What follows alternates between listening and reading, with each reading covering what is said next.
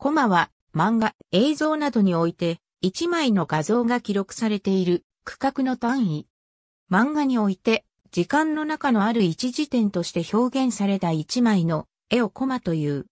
多くは四角の枠線で囲まれていて、これを連続させて時間の流れを表現する。一般的に1ページに3から15コマで表現するのがちょうど良いとされている。必要に応じて2ページにまたいでコマを書くこともある。最高に強調する場面や物語の締め等の重要な場面での演出として1ページまたは見開き2ページを丸ごと1コマに使用することもある。回想シーンなどの部分の枠線の角を丸くしたり、線の濃さや枠線の間隔を薄くしたり、枠線の外部を黒で塗りつぶしたり、コマの中に小さなコマを書いたりして、ストーリー上で現在流れている時間のコマ特別したりすることもある。演出上枠線を描かなかったり人物を強調させるなどの理由で人物がコマからはみ出ていたりすることもある。人物が複数のコマをまたいで大きく描かれることもある。この手法は、ぶち抜きと呼ばれる。また、コマの境目の余白部分を物質化し、壁や柱として扱わせる手法もある。コマの数を基準にして、漫画の形式を分類する場合がある。以下は、関連項目。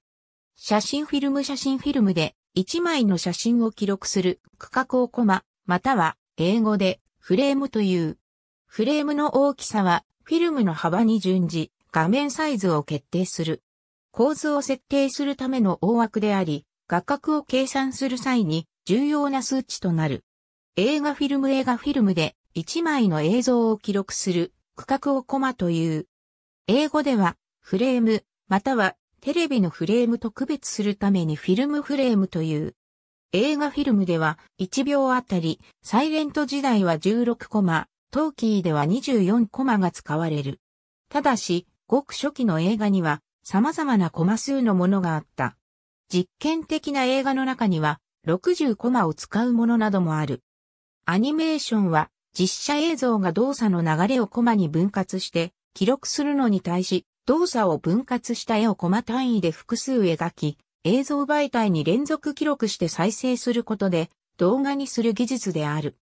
多くのテレビ番組がビデオ撮影されるようになってからもアニメは長く映画フィルムを使って制作されており、1秒24コマで撮影されていた。ただし、日本では実際に描かれる絵の枚数は動きのあるシーンであっても1秒8から12枚で、1枚の絵を2から3コマ撮影して、フレーム数を調整していた。ディズニーアニメなどは実際に1秒に24枚の絵が描かれている。現在のアニメ制作はデジタル化されているが、フィルム時代と同様、1秒24コマで撮影され60フィールドにテレシネされる。ただし、特殊効果や一部の CG はテレシネ後にフレーム、またはフィールド単位で加えるため、必ずしも絵のすべてがコマを単位としているわけではない。なお、アニメ制作の現場では、コマを記号、K で略記することがある。テレビ以降の動画技術分野では一般に英単語フレームをそのままカタカナにして、フレームという語を使う。上記のテレビアニメをはじめとする制作分野や家電、コンピュータ用ソフトウェアの機能名称などでは、コマの語が残っている例がある。各機器の動画再生機能のうち、コマの一つ一つを確認できる程度の低い速度で再生することをコマ送りと呼ぶ。再生中にコマの一部が表示されないことをコマ落ち、またはコマ飛びと呼ぶ。ストップモーションアニメーション自体、または、その制作手法をコマ取りと呼ぶ。ありがとうございます。